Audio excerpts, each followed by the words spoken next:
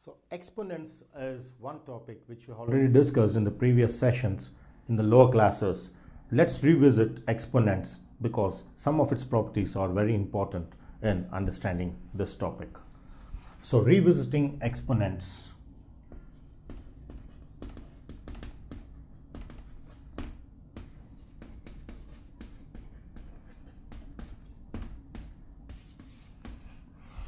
What are exponents? What is it about the word exponent in mathematics? Exponents are those numbers which are expressed in power form. The most simple thing is that if I have say 8, I can write this as 2 power 3 which is called the exponent form of writing the number 8 is how we understand exponents. It's very simple that I can write this as 2 power 3 and therefore 8 expressed in exponent form is 2 raised to 3. So using the exponents and the base, I generally have exponent which is written in the form a raised to the value b. In this case, this is said to be the base and this is said to be the exponent which makes me understand that exponent is nothing but the power form, the power.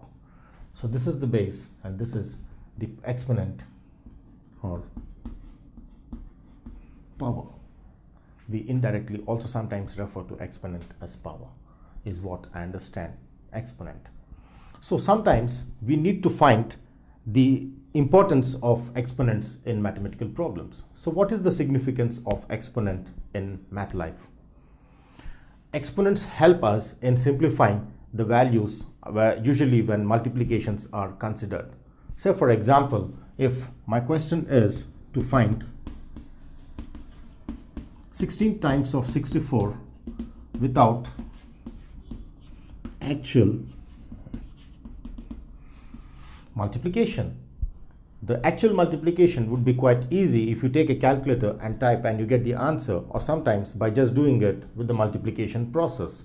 But if my question was to find this without actual multiplication, then that would definitely include exponents connected to identifying the value of the multiplication as out here 16 times of 64. So let's take this and see how I can do it without actually multiplying the two values. Now let me take the first value which is 16 which can be written as 2 times 2 times 2 times 2 which gives me 2 power 4 2 raised to 4.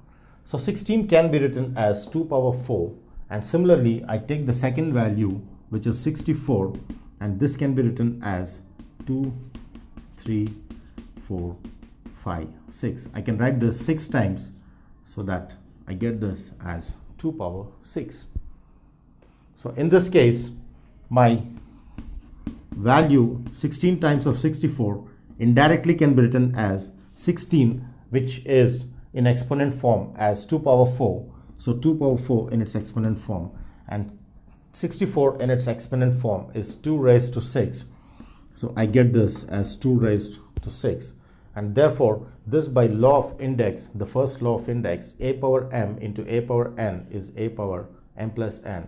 Therefore this finally gives me 4 plus 6 is 2 raised to power 10 is what is the value I get when I multiply this with this. Now this is called the exponential answer for the given problem. Now how do I find the general value of this? It is simple that I take this 2 power 10 as 2 multiplied 1, 2, 3, 4, 5, 6, 7, 8, 9 and 10. So I take them definitely by taking 2 2's 4, 4 2's 8, 8 2 16, 16 to 32, 32 to 64 times 2 128, 256, 512, 1024. So every time I double the value what I get, whatever I get here, I double here, double, double, double, double. So 10 times you double 2, finally I get 1024. Now this is strictly done without the actual multiplication.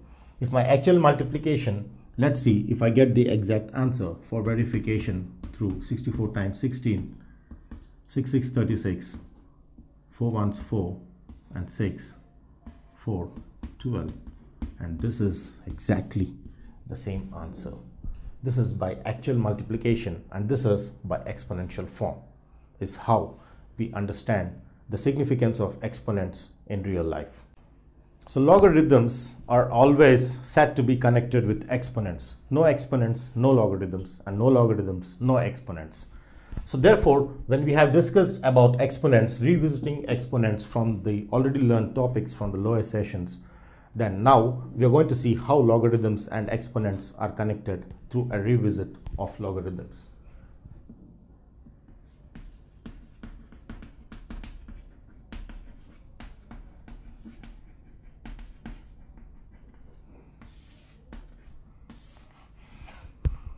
So revisiting logarithms, I just have one of the most important property which connects logarithms with exponents and it is this.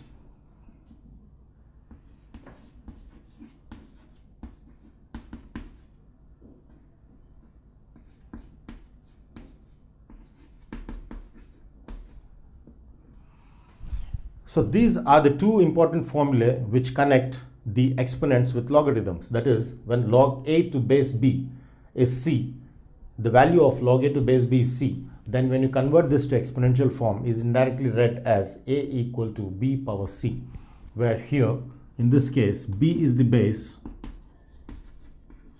c is the exponent. Therefore, when I just connect this with the left hand side of the property, I see that the base will be the base of the logarithm and the exponent will be the value of the logarithm. So when I connect these two things onto the left hand side, I understand that base of exponent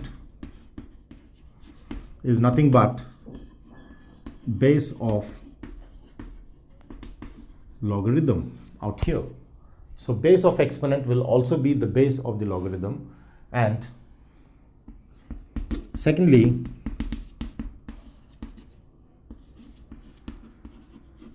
exponent or power of this exponential equation will be nothing but the value of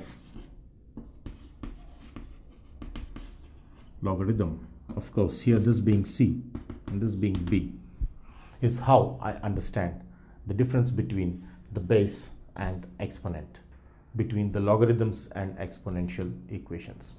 So these are the concepts through which I can convert any logarithm value into the uh, exponential form or any exponential form into the logarithmic form.